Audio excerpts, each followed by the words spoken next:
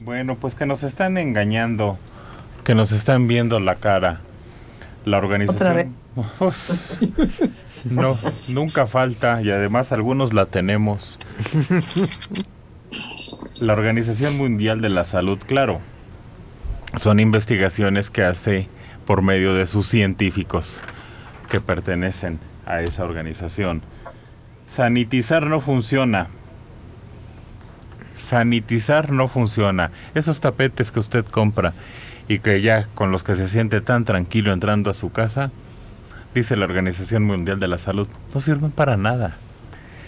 Los spray que compramos, aerosoles, es lo correcto creo.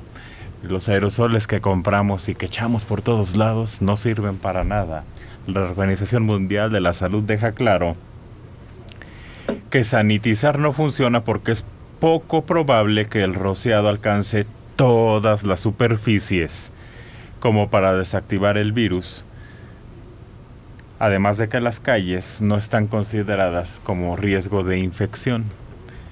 El suelo no es una vía, una vía con la que nos podamos infectar fácilmente. La infección sucede al llevarse las manos a la cara. Por lo tanto, dice la Organización Mundial de la Salud, lávese las manos con agua y con jabón y ya. Esa es la solución que está dando la organización. No compre tapetes, ni aerosoles, ni todo ese tipo. Es que ahora venden de todo tipo de tapetes para sanitizar. Sí, para que no entres. A, mí me gusta más el verbo que dice Dora, satanizar. y al final, fíjate, después de toda esta experiencia que hemos ido recorriendo con la pandemia, pues la conclusión, digo, una de tantas, pero la quizá de las que son más certeras es lávate las manos y usa cubrebocas. Eh, exacto, exacto Alejandro, en eso resume la organización. ¿Cómo dijiste? Lávate las manos y usa cubrebocas. Las medidas más efectivas según la Organización Mundial de la Salud las acaba de resumir el científico Alejandro Rosas. Eso es todo. lógicas, además. Pero, y, además, Mario, sí. Pero tú sabes la cantidad de personas que utilizaron eso para sobrevivir durante estos meses, se pusieron a inventar tapetitos para vendértelos en, en la cajuela de un carro, la cantidad de personas que se pusieron a hacer cubrebocas por donde quiera, de figuritas, de colorcitos, de un montón de materiales, se convirtió en una industria, la industria de la sanitización. En cada esquina veo un automóvil con la cajuela abierta vendiendo todo ese tipo de productos. Ajá. El gel. No vi, no, perdón, no vieron el video de, venta así ambulante de ese tipo de cubrebocas. Pero el cuate que lo está vendiendo y, eh, le sopla la bolsa para la bolsa. donde mete, donde mete el cubrebocas. El cubrebocas. Ay, no, no, no. Ah, no, es que te encuentras con una mesita ahí en plena calle, una mesita y tienen cubrebocas y tienen gel en envases chiquitos, gel en envases grandes, cubrebocas de colores, negros, de rayitas, sin rayitas. Dices, bueno. El hay unos de estambre.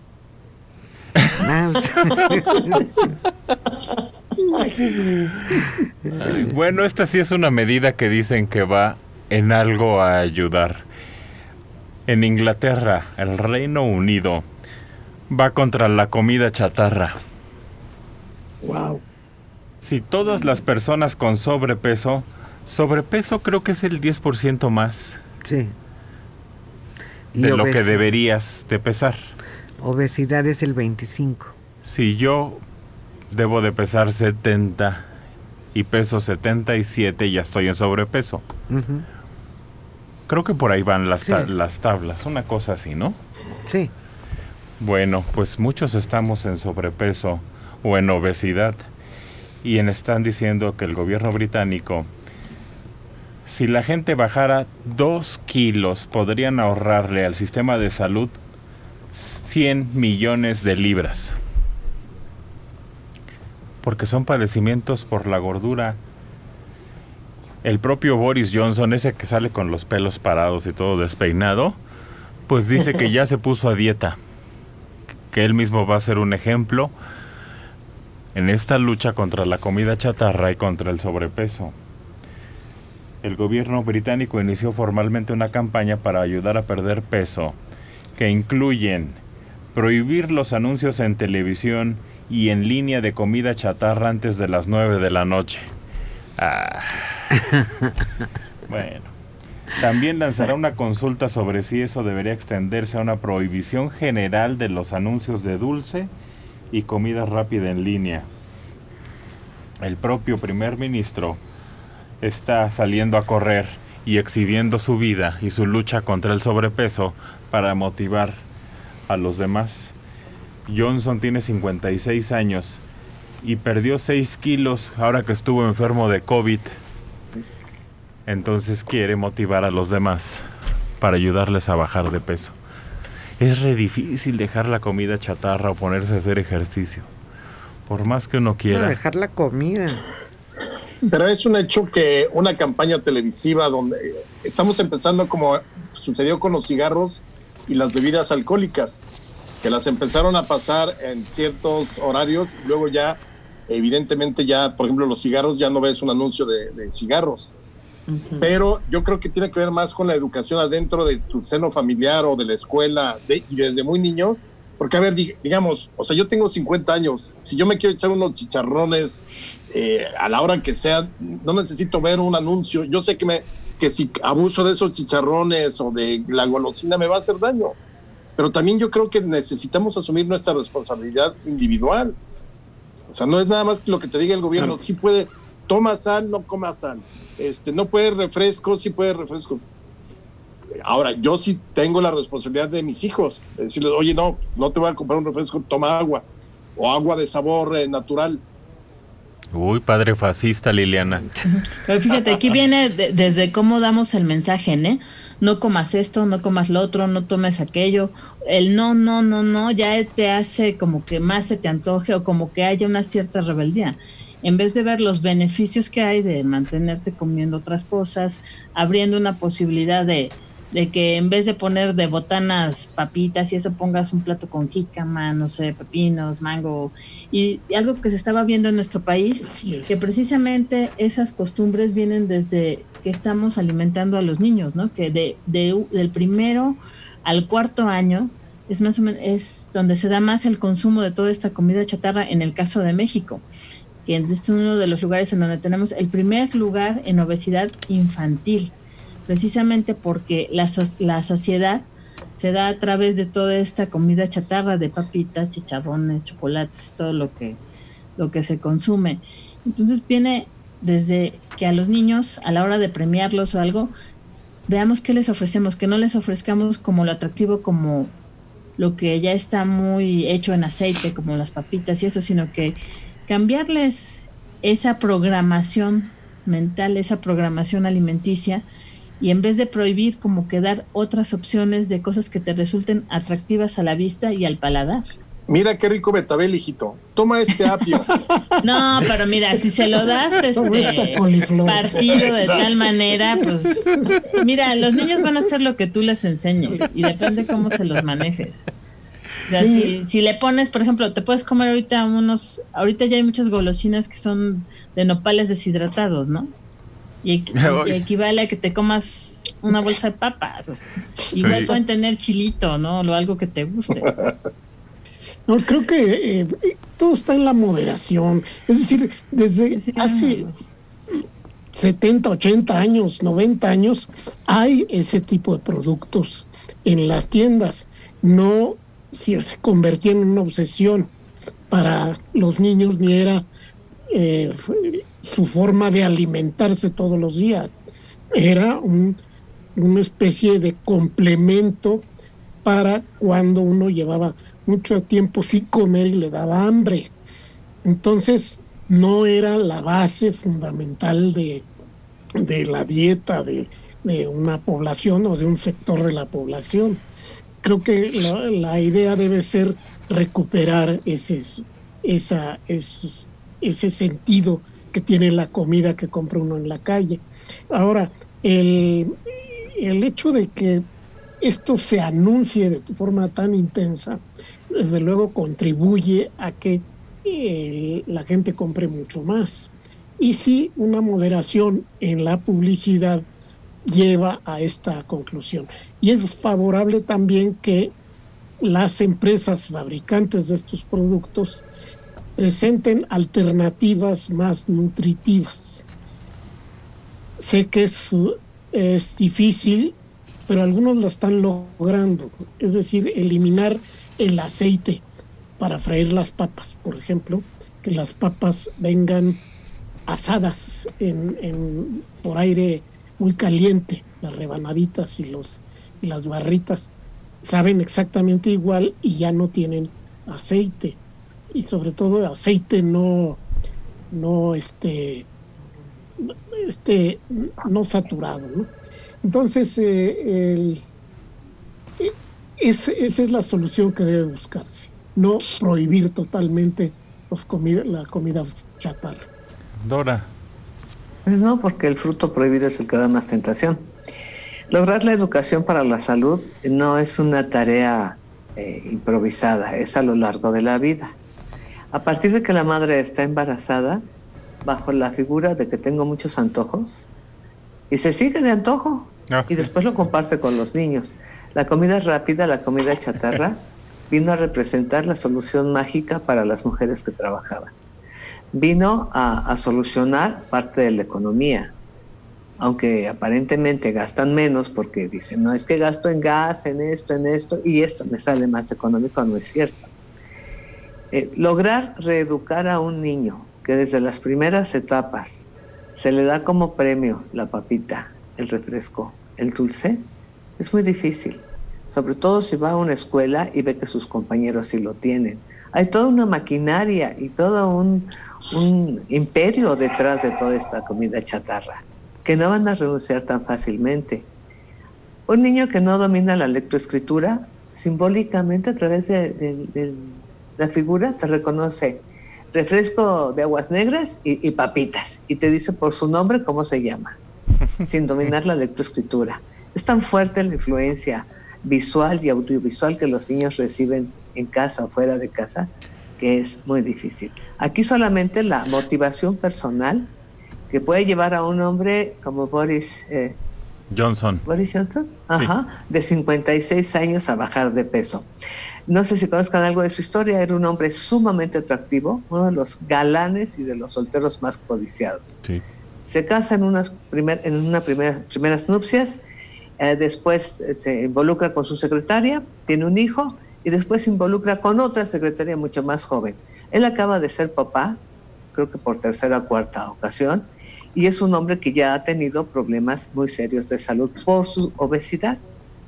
A sus 56 años, estar con una joven de 20 o 22 años, que es su pareja más reciente, es una gran motivación para bajar de peso. Pero si aparte me sirve como una figura política, lo voy a hacer.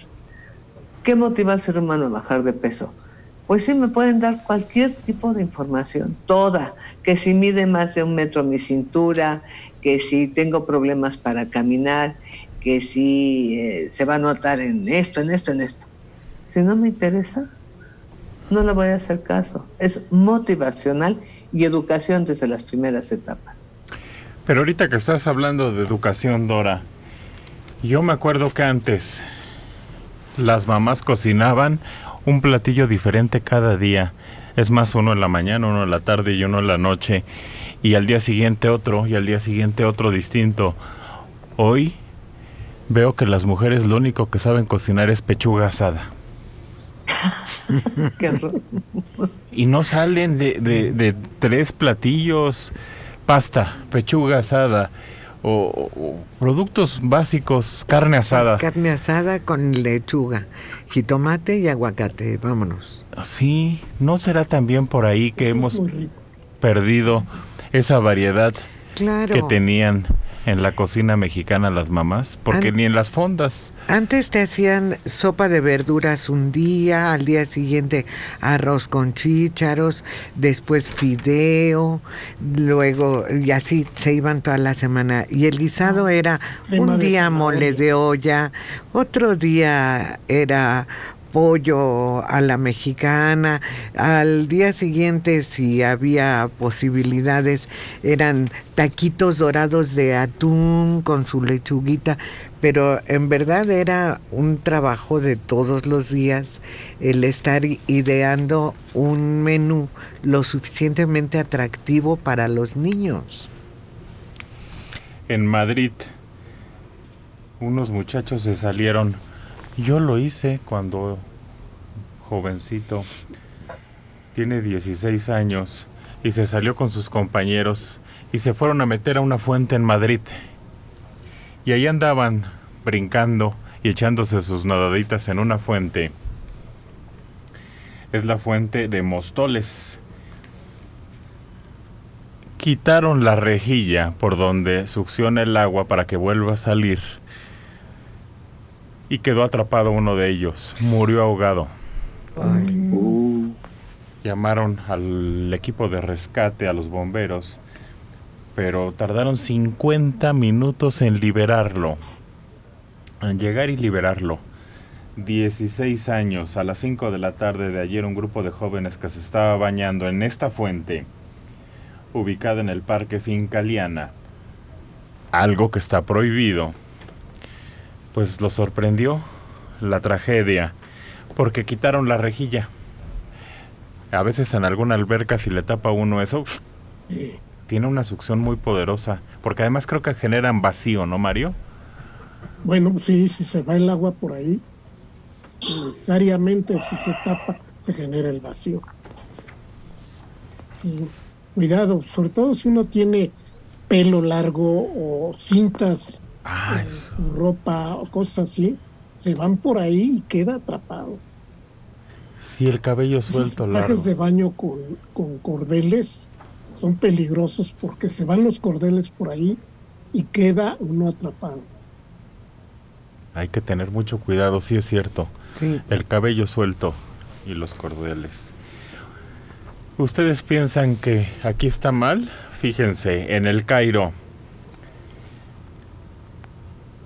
Este lunes en el Cairo, condenadas a dos años de prisión cinco mujeres egipcias porque transmitieron en las redes sociales videos en esta red de TikTok y las condenaron porque eran ofensivas a la moral.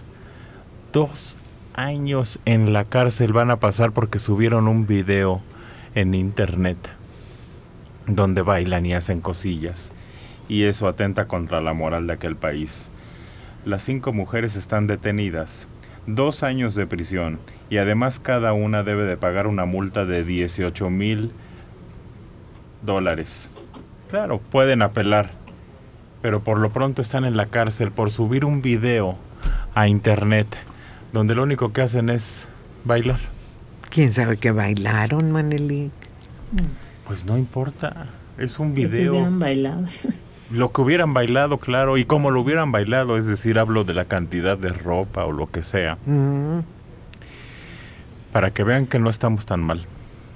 No, es que ya las injusticias que se cometen y contra las mujeres son brutales, son brutales. Eh, he sabido de gente que ha estado por allá en Egipto, eh, que para las mujeres, por ejemplo, el que no puedan entrar si están en, en un tren, en algún vehículo, que lleve baño, las mujeres no tienen permitido hacerlo, o sea, no, no tienen permitido pasar al baño, cosas así básicas, cosas que son inhumanas, eh, el no poder salir solas, el en algunos sitios no poder manejar, son cosas, bueno, que no puedan manejar no es tan terrible, ¿no? Pero el que por un video te den, te quiten dos, dos años de, tu vida, o sea, es, es criminal cuando hay cosas que sí se deberían de castigar, los abusos que luego sufren, pero no, por un video, que ha de ser unas cosas simplísimas lo que publicaron, lo que subieron.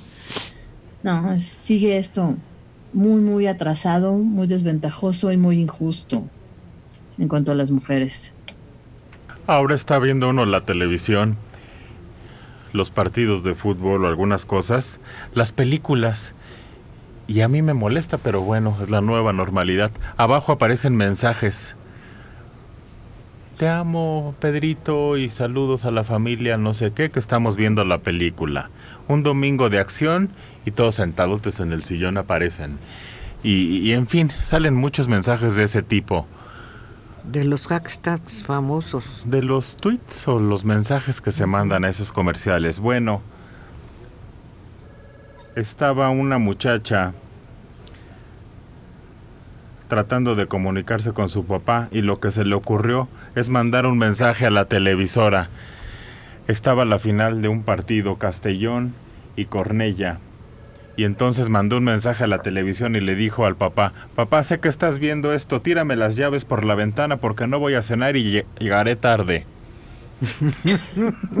Efectivamente, el papá le tiró las llaves. Ay, Dios mío. Por medio de esto, según la historia, todo salió bien. El padre le lanzó las llaves de la casa y ella contestó por mensaje, chavales, mi papá ya me ha tirado las llaves. Hemos rayado un poco un coche, pero no pasa nada. Muchas gracias al señor que pone los mensajes en la tele. Y así se ve la imagen. Está la imagen del partido del campo de fútbol y abajo en el cintillo. Papá, sé que estás viendo esto, tírame las llaves por la ventana porque no voy a cenar y llegaré tarde. Y el nombre de la muchacha. Y el papá salió por la ventana Ay, y le tiró las llaves. Hay gente que... Es- creativo de los medios. Pues qué bueno, ese es el fin de los medios. Quiere decir que sí funcionan. Y que el papá no se pierde ni un detalle de acción de los partidos de fútbol además. Eso. Conoce perfectamente a su padre. Sí. Sabe exactamente dónde va a estar sentado. Un hombre en Miami fue y pidió un préstamo porque están dando apoyos para las industrias por el problema del COVID. Entonces te dan lo que llaman ellos créditos blandos. Son créditos que primero se dan sin garantizar prácticamente nada, solo comprobando que tienes un negocio. Y luego, si tú recontratas a tus empleados y pagas el préstamo antes de determinado tiempo, no genera intereses. Si no recontratas a tus empleados, los intereses más altos están por ahí del 5%, lo cual es mucho más bajo que cualquier otro crédito que existe en el mercado. Y tienes 5 años para pagar. Bueno, en Miami un hombre aplicó para este seguro y se lo dieron. Y pidió varios otros. Hay para el COVID, para los daños, para, en fin. Y se hizo de todos esos préstamos y entonces salió ya con el dinero y fue y se compró un Lamborghini. Ay, mira. y que se lo quitan todo. No solo eso, sino que además fue a las tiendas de lujo y andaba dándose la gran vida. Pues es su dinero, yo no sé por qué se enojan. Pero ahora le quieren quitar el coche y todo y lo están denunciando como un fraude. Claro. Pues ¿para qué se lo prestan? No, no, no. Se lo prestaron para ser utilizado con determinado fin. Y no lo utilizó en beneficio de sus empleados, de una fuente de trabajo. Entonces, claro que tenían que quitárselo y tenían que acusarlo, porque cuando se lo otorgaron, el compromiso era que lo utilizara en beneficio de algo, algo concreto, no para pasearse en Lamborghini, pues ¿cómo? A lo mejor era para algún sentido de su compañía. Así fue ese hombre con un Lamborghini.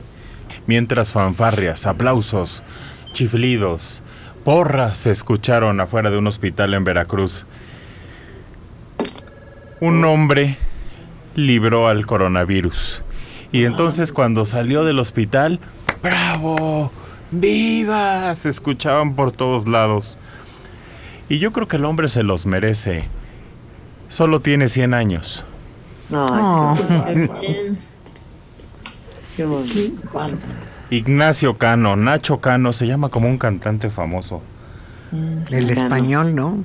100 años de edad y salió del hospital regional de Liste en Veracruz. Estuvo infectado de coronavirus y fue dado de alta ayer y le gritaban, sí, se pudo, sí, se pudo y le aplaudían. 100 años, miren, no solo venció el coronavirus, sino salió caminando del hospital. a los 100 años. María Eugenia Castillejos Alvarado de Tultitlán, 65 años. Cuando era niña recuerdo que a un amiguito le compraban su chaparrita y sus papas. Pero la diferencia era que antes jugábamos en la calle, corríamos, íbamos de un lado para otro. En cambio ahora los niños solo se entretienen con la tableta o el celular. Son más sedentarios. Ahí radica el problema, la inactividad, no lo que se consume. Silvia Loya, yo vivo en un país árabe. Los occidentales no entendemos su cultura, pero es cuestión de que la mujer debe respetarse a sí misma y a su cuerpo para evitar una falta de respeto. Y el hombre también. El hombre no, ¿verdad? Pues, evidentemente. No, el hombre no se respeta. Entonces, ¿por qué es eh, asimétrica la, la restricción, la petición? Alfonso Sáenz, todo lo prohibido y lo pecaminoso es lo más divertido. Claro. Sin duda. Yo les he recomendado aquí una película que se llama Esperando la carroza. Como ya sé que no me Ah, hacen sí. caso, seguramente nadie la habrá visto. Es la Argentina. Yo no la había escuchado aumentar, como dicen. Búscala, se llama Esperando la carroza. Es una película argentina. Es otra vez el cine clásico viejo y argentino. Porque ya ves que solo lo viejo hablamos aquí. Es una película muy divertida de una mujer que están velando y llega a su velorio. Esperando la carroza. Es bien, la, puedes buscar en la internet. Es una película argentina. Bueno, ayer en la Argentina, o en la Argentina, porque dicen la República Argentina. Ayer en la Argentina, a un hombre le avisaron, oye, se metieron a tu casa. Tenía la casa ahí abandonada. No la ocupaba porque tenía un familiar que ya había fallecido desde hace tiempo y la tenía ahí. Entonces fue corriendo. Y sí, estaba ya ocupada la casa y ya habían puesto candados, lo que hacen todos los que ocupan esas casas. Y pues los echó para afuera. Llamó a la policía, llamó a los vecinos, se empezó a hacer una bronca. Y sí, a patadas y empujones, los echaron para afuera entre él y los vecinos. Ya que terminó todo el relajo, entraron a ver los daños. Porque se habían colgado del gas del vecino, se robaban el agua del otro, tenían un cable de luz conectado hacia el otro, y de repente entraron a un cuarto y se encontraron a una viejita. Los hombres que se habían metido a ocupar el establecimiento, la casa, a la hora que se salieron, se les olvidó la abuela. Y ahora los servicios de salud están viendo a ver qué hacen con la señora. Ay, pobrecita. Porque estos que la olvidaron son ocupas que les llaman y no tienen un domicilio fijo. Andan de casa en casa ocupando los lugares que están abandonados. Sí. Y la señora ahí sentada en un rincón. Y todos se echaron a correr, se fueron y la señora se quedó ahí sin poder salir. Están vendiendo ahora y me parece muy buena idea. Cubre pasteles. Ah, claro. Ahora ya no le No me puedes, digas. ya no le puedes soplar a los pasteles porque No. está prohibidísimo. Uy, sí, es cierto. No, ahora lo que están utilizando es un pastel individual. Ahí ponen la, fle- la el Las cumpleaños velitas, con número. Sí. y entonces allá solito le sopla. Pues así están. Le ponen un escupidor. Eso es mejor, que salgan todos los fuegos artificiales ahí. Sí. Pero ¿sabes también qué, qué se acabó con todo esto? La tradición de mordida. Sí, claro. mordida. Sí, una, una barbaridad total. No, hombre, pues es que estamos viendo cambios interesantes. Sí. Todo nos cambió la vida esto. Pero sí es cierto, le soplábamos hasta los que estábamos al lado. De la persona que estaba en el cumpleaños. ¿Sabes qué se acabó, ya también? Esas comidas dominicales con toda la familia, en que en la mesa ponían el montón de chicharrón, de nopales, las tortillas, las carnitas, y cada quien iba y se hacía su taco, y él se llevaba su plato y al rato regresaba, y todo el mundo agarraba con su linda manita un pedacito de chicharrón y lo mordía. Ya eso ya se acabó. El país más admirado del mundo, según una encuesta de Gallup, que es muy respetable, Alemania. Alemania, luego Estados Unidos, China y Rusia. Qué curioso. Los más poderosos. Los más admirados, los que más respeta la gente y los que más nos llaman la atención como un lugar para vivir. ¿Quién sabe? ¿Duermes con tu perro? ¿Quién? Ah, todos tienen perro aquí, casi. Sí.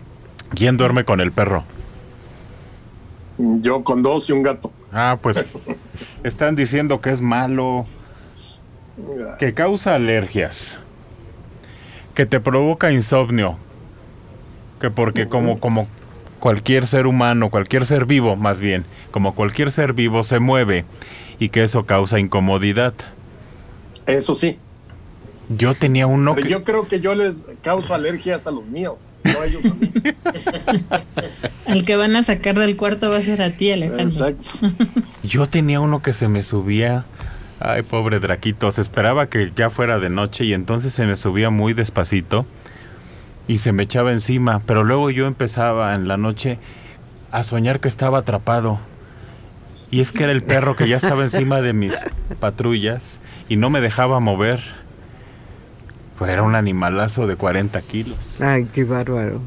Y que si duermes con tu pareja, que también bajes a los perros. Que es muy importante mantener la sana distancia con los perros, están explicando ahora en estos estudios. Y ahí tu pareja puede saber exactamente qué tanto la quieres o no.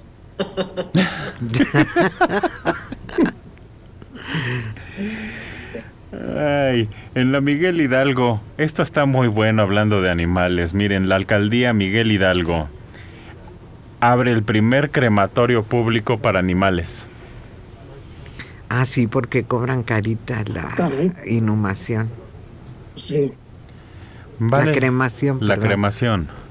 Vale la pena. En el marco del Día del Perro Callejero que fue ayer, Sí, las personas requieren este servicio, dijeron. Entonces, un crematorio donde puede uno llevar a su animal de compañía y posteriormente se le entregarán las cenizas en una urna con el certificado y nombre de la mascota. sí. El crematorio se llama Xoloscuincle, en honor a la raza de perros que aquí teníamos. Qué bueno, me parece muy bien. Funcionará de manera comunitaria o individual. Así tiene costos. Cremación comunitaria canina o felina, de 1 a 20 kilos, 360 pesos. Más de 20 kilos, 600 pesos. Cremación canina o felina individual, con rescate de cenizas. De 1 a 20 kilos, 780 pesos. Más de 20 kilos, 1200. Pues es lo mismo que vale en una. exacto. Era lo que yo veterinaria. estaba pensando.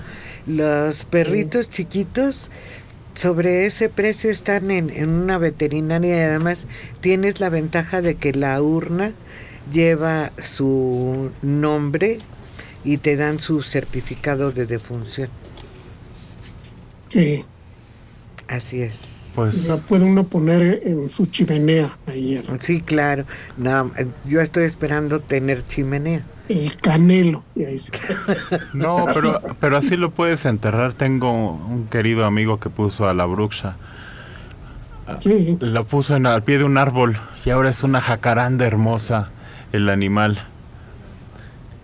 Precioso. Y ahí siempre va a estar la jacaranda que sabemos que es parte de ella.